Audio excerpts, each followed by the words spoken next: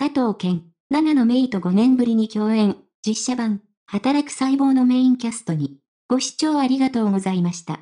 素早く最新情報をもらえるようにチャンネル登録ボタンをよろしくお願いいたします。ありがとうございます。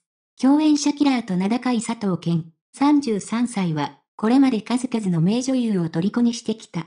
三島ひかり、37歳と共演すれば、顔もかっこいいけれど、心もかっこいいと言わせ、上白石もやしゅん、25歳は、毎回自然とドキッとする気持ちにさせてくださると絶賛。現在放送中のドラマ、100万回言えばよかった、TBS 系で、佐藤の恋人役を演じる井上真央、36歳は、佐藤のことを彼氏と呼んでいるという。近年の佐藤さんのハマり役は、一途な恋をする男。今回は、恋人に思いの丈を伝えられないまま突然世を去り、幽霊になった男性という難役ですが、キュンとさせる演技を見せています。テレビ局関係者。その佐藤の次のお相手が決まった。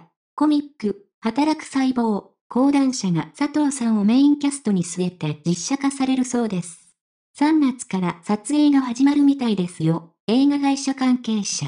働く細胞は、細胞を擬人化し、体の仕組みや細胞の働きをバトルとして描くファンタジーで、原作はシリーズ累計発行部数700万部を突破。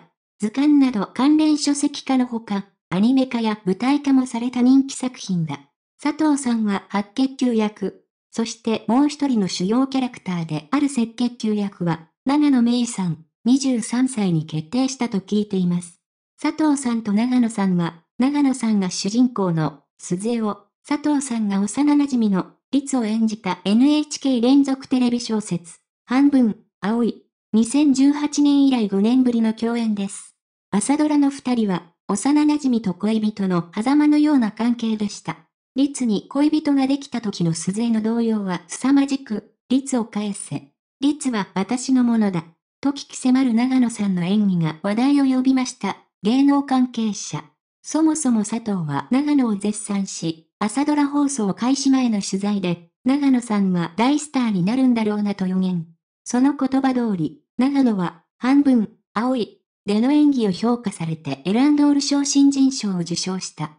受賞式では佐藤がサプライズプレゼンターとして登壇し、18歳の10ヶ月間という大変貴重な時間をこの作品に捧げてくれて、本当にありがとうございましたとスピーチ。隣で聞いていた長野は感極まり涙を浮かべ、佐藤にエスコートされながらステージを降りる一幕もあった。朝ドラ撮影時は佐藤さんが長野さんにちょくちょく電話をかけていたそうです。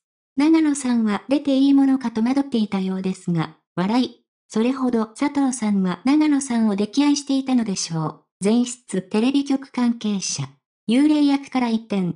生きる上で欠かせない血液中の成分を演じる佐藤は、長野とどんな演技を見せてくれるだろうか。女性セブン2023年3月2.9日号。ご視聴ありがとうございました。これからも一緒に応援していきましょうね。チャンネル登録をよろしくお願いいたします。